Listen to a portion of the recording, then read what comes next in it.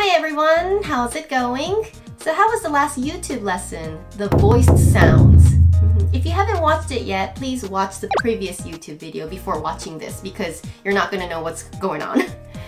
okay, so so far we have learned that ka becomes ga, sa becomes za, and ta becomes da. Now we're going to continue with that. Uh, just to let you know, the n sounds, na, ni, nu, ne, no, they don't have a voiced version because n sound already is a voiced version. N, n, n.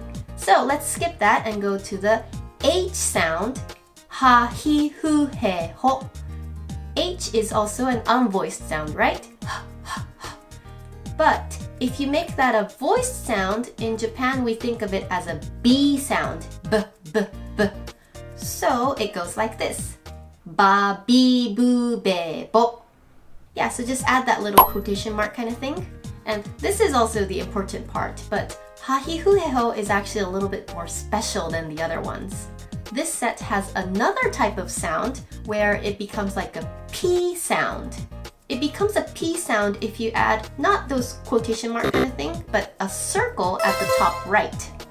So it sounds like this. Pa, pi, pu, pe, po.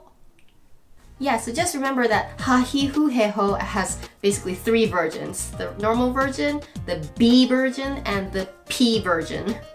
So actually we are done with the voice sounds.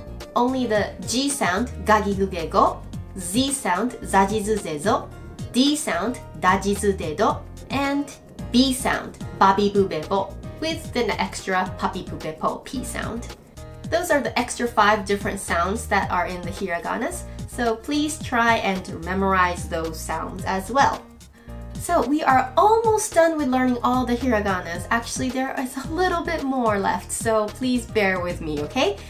Thank you very much. Goodbye. See you.